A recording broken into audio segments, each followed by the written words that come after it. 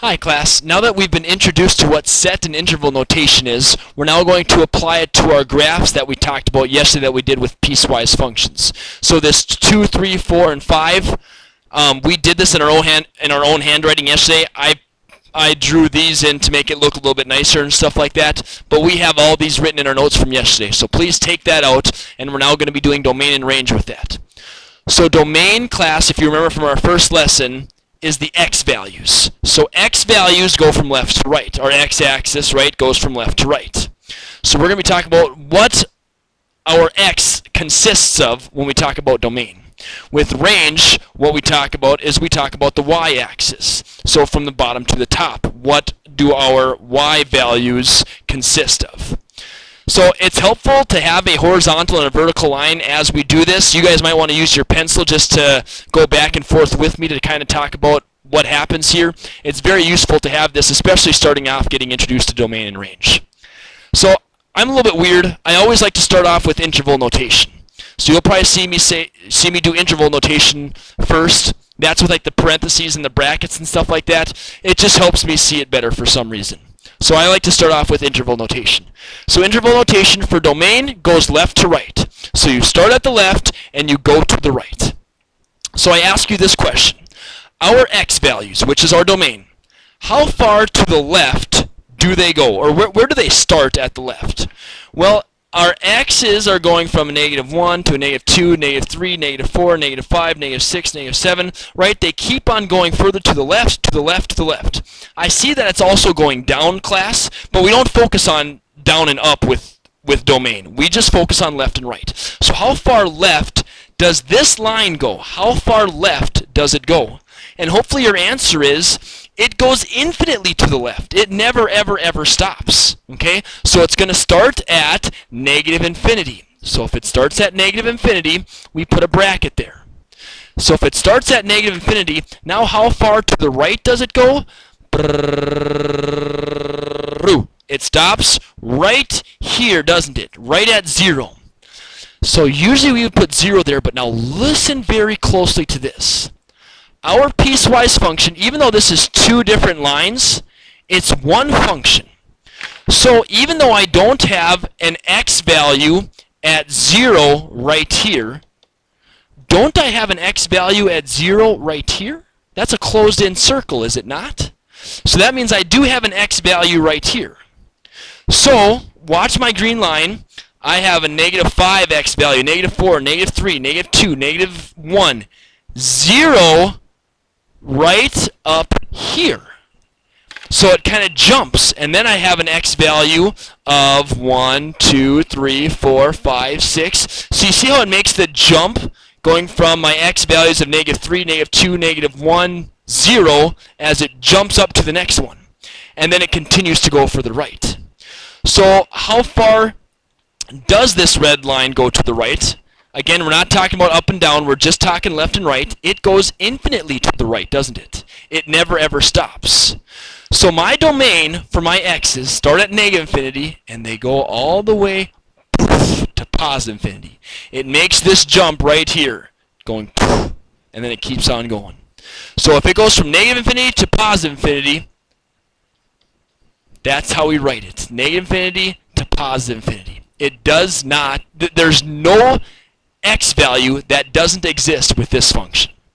Okay? So if we know that it's negative infinity, sorry, now we'll talk about the range. So with the range, we talk about bottom to top. Right? So our our y values go up and down. And so just like we always go from left to right with our domain, our range, we always go bottom to top. So now we don't care about left and right. All we care about is up and down. Okay? So now I'm going to ask you the question, how low does this line go? I know it goes to the left, but that's not my concern with range. I'm asking you, how low does this line go?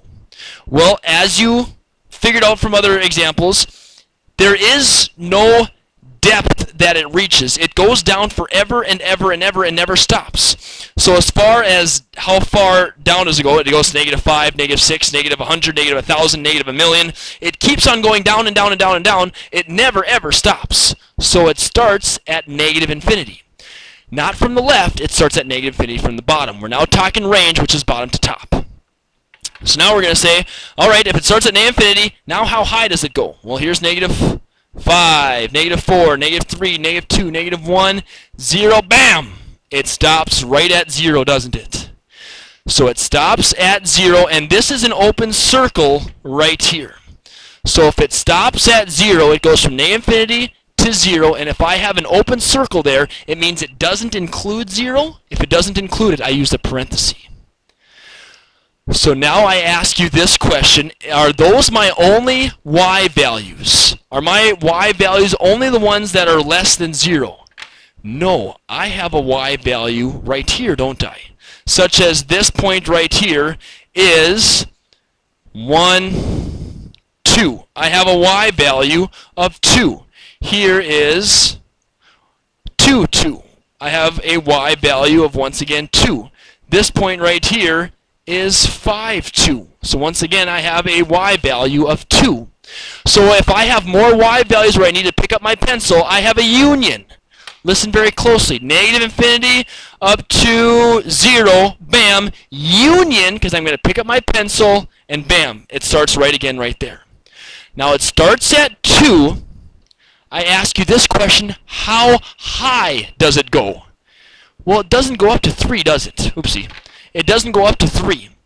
It stays at 2. So as far as up and down goes, it stays at 2. This is where tricky. It equals 2. It's not like it's less than or greater than 2. It equals 2. So if it equals 2, I'm going to have a bracket on the left and a bracket on the right because that's the only, only number that there is. Whew! All right. Now let's talk about set notation. This is where we have x such that x. So that's kind of where I always start.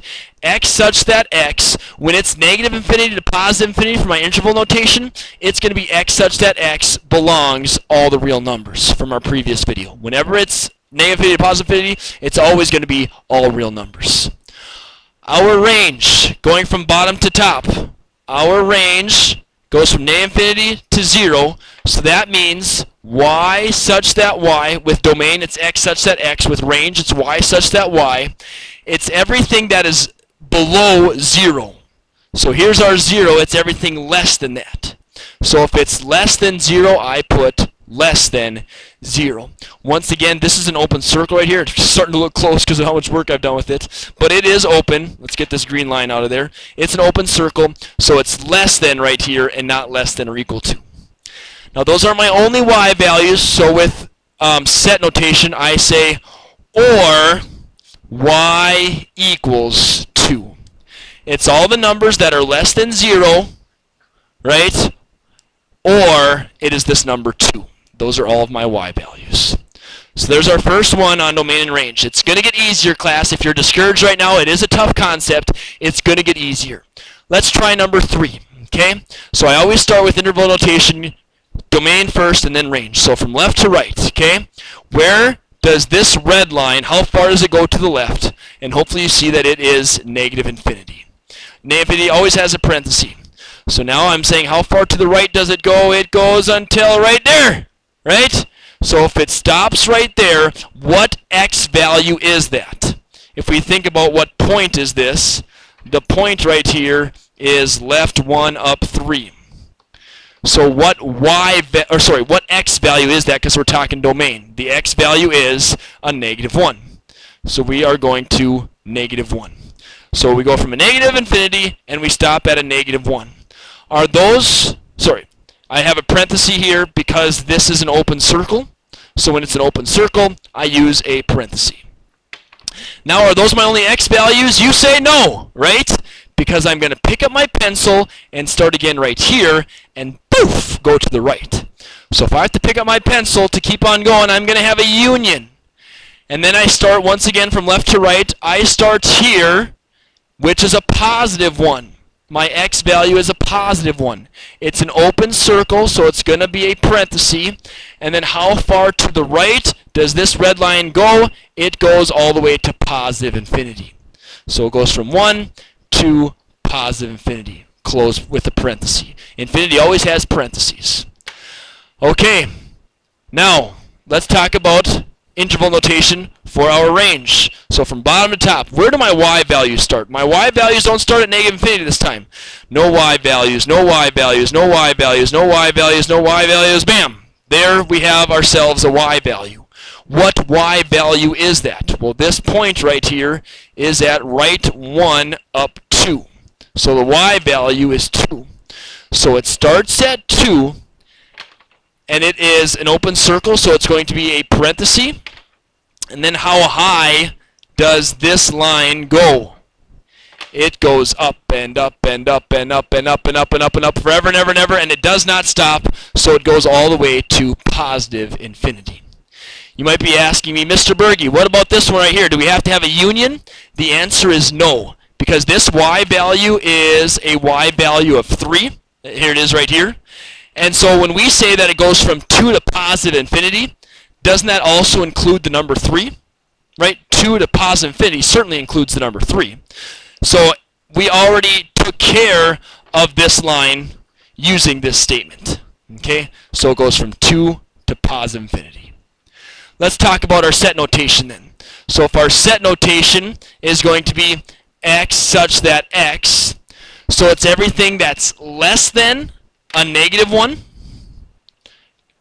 Here's negative 1, and it's everything less than it. So x such that x is less than a negative 1. It's not less than or equal to, it's just less than. We have more x values though, so we say or x is greater than a positive 1. It starts right here at 1, and it goes to the right. And then our range, it starts at 2, and then it goes to positive infinity. So we say it's everything greater than y such that y, if it's above 2, it's greater than a positive 2.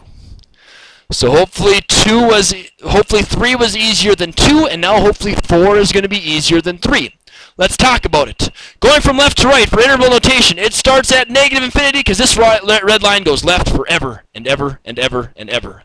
So negative infinity up to right there. So it starts at negative infinity, and how far to the right does it go? It stops at a negative 2 right here, but just like the other one, it jumps down here. So when it jumps, it goes from a negative infinity to 2, and then like 2.1 doesn't exist in this top one, but it jumps down to this bottom one. And now it goes all the way to positive infinity. So negative infinity, it stops at negative 2, but it doesn't because it continues on when it jumps to this bottom one. And then how far to the right does it go? It goes all the way to positive infinity. So negative infinity all the way to positive infinity. It just keeps on going. So my range then is going to be starting where, how low does this line go? Remember, range talks about up and down. How low does that line go? It goes down forever and ever and ever. So, how high does it go? Well, it goes up until 0 right here. However, when we have 0 stopping right here, it picks up right here. And it continues to go on forever and ever and ever. So this part right here is kind of a middle area where there's two different ranges. Okay? But where you're just paying attention to, it goes from negative infinity, and where does it stop? It goes all the way to positive infinity. So it goes from negative infinity up to positive infinity. Close parentheses. So with both of these, it's quite simple. Whenever you have negative infinity to positive infinity, it is x such that x belongs all the real numbers, y such that y belongs all the real numbers. All right, last one. Problem number five. Where did it go? There we are. Why don't you guys try number five on your own and then check your work with mine. So pause the video. After you've tried it, here's what you should get. This red line goes left forever. So if it goes left forever, that means it starts at negative infinity. Negative infinity, and how far to the right does it go? It goes up till zero. Now it doesn't include zero down here, does it? It doesn't include 0. So now it jumps up here, but it doesn't include 0 either right here. If that was a closed circle, it would be all the real numbers. But being that that's an open circle, we go from a negative infinity to 0, and then we pick up here at 0 and we go to positive infinity. So that must tell us that it doesn't include 0. There's no such x value where x equals 0. It goes from negative infinity up into 0, jumps and goes from 0 to positive infinity, but it never includes 0. So that's where we do have to lift up our pencil, and we're all, we are going to have a union. So negative infinity to 0, it doesn't include it, so put a parenthesis there. Union, it goes from 0 to positive infinity. A little bit of a tricky one. It doesn't include 0. So now for our range, our range starts at, well, it's looks like it maybe starts right at a negative 2. However, we got to think to ourselves, this line goes down forever and ever and ever and ever and ever. So it actually starts at negative infinity. If I were to continue this line, it starts at negative infinity, and then how high does it go? All the way to positive infinity. Once again, this middle area is kind of where it overlaps. But our range starts at negative infinity, and it goes all the way to positive infinity. So negative infinity all the way to positive infinity. So when that happens, it means it's all real numbers. So our range is y such that y belongs all the real numbers.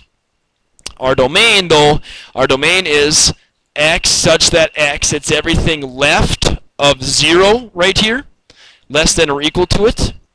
Sorry, sorry, not less than or equal to it. It's an open circle, so it's just less than. So x such that x is less than 0, or x is greater than 0, because it's going to be from this point onward, so to the right of 0. So x such that x is less than 0 or x is greater than 0.